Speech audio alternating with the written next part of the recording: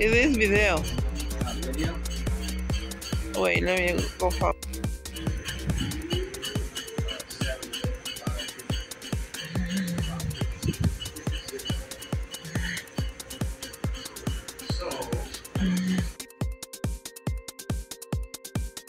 Speakers have some good up to go to, but they're a little bit difficult to control because you're going. It's very, very ticklish system. Let's go look for some of them wangs.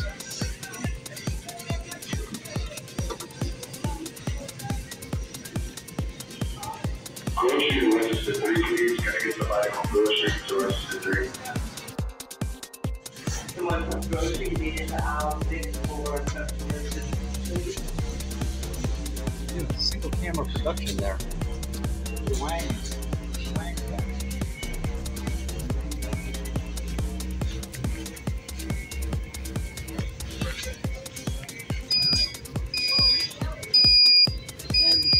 Sanderson Farms 449. What kilograms? Dollar thirty-three.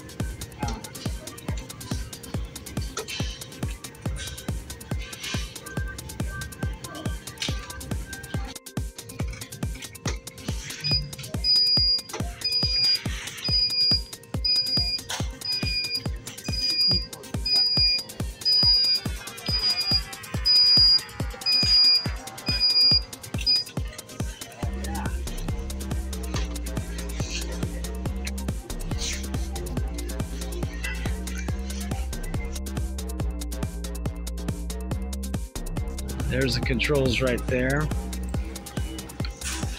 Pretty simple. Has a grip on it. Feels like you should be able to like move it forward like a motorcycle, but it doesn't work that way.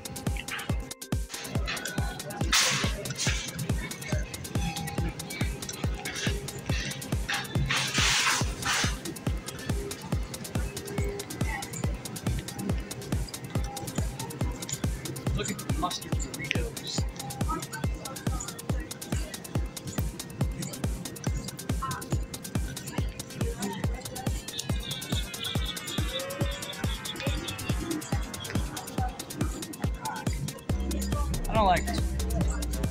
About feeling at Walmart.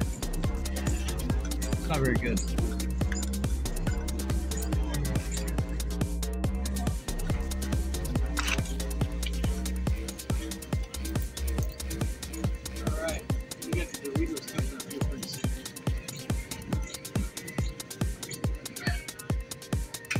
Takis. We don't have those glorious mustard Doritos at Target. We have Funyuns.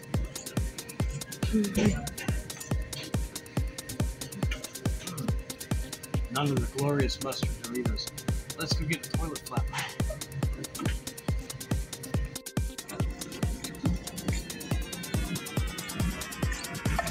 No toilet flappers. Here, I'm gonna turn around.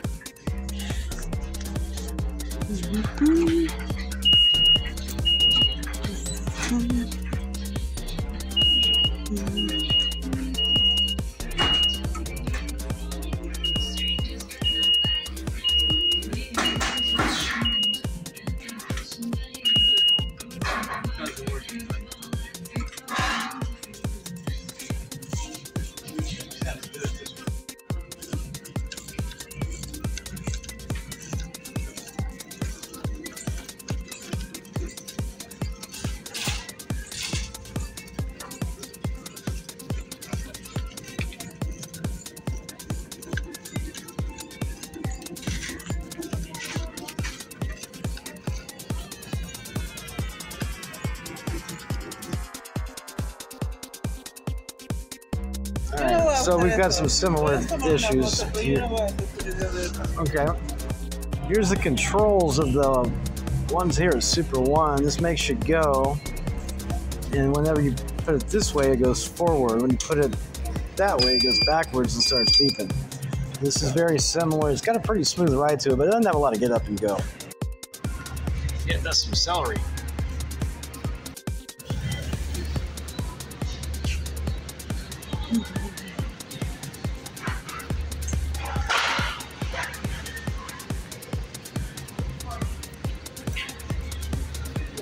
Oh,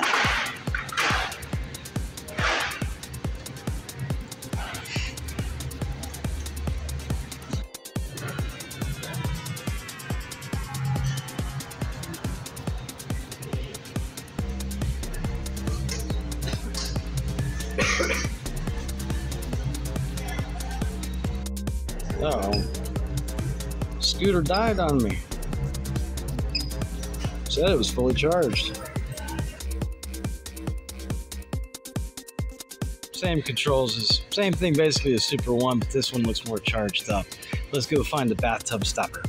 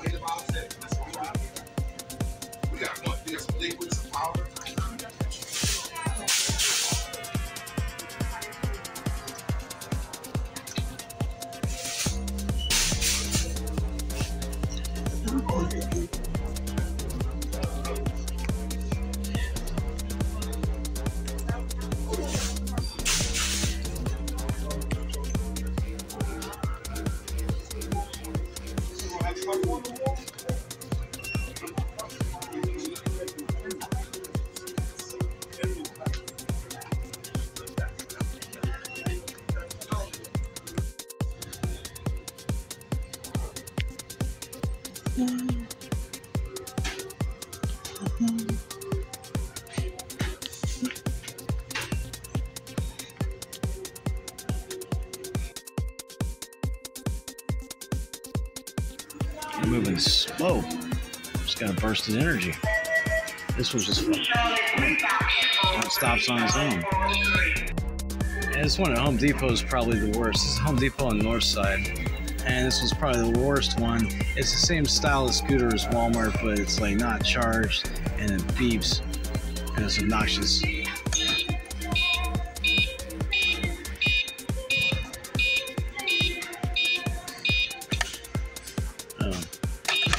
Didn't go at all.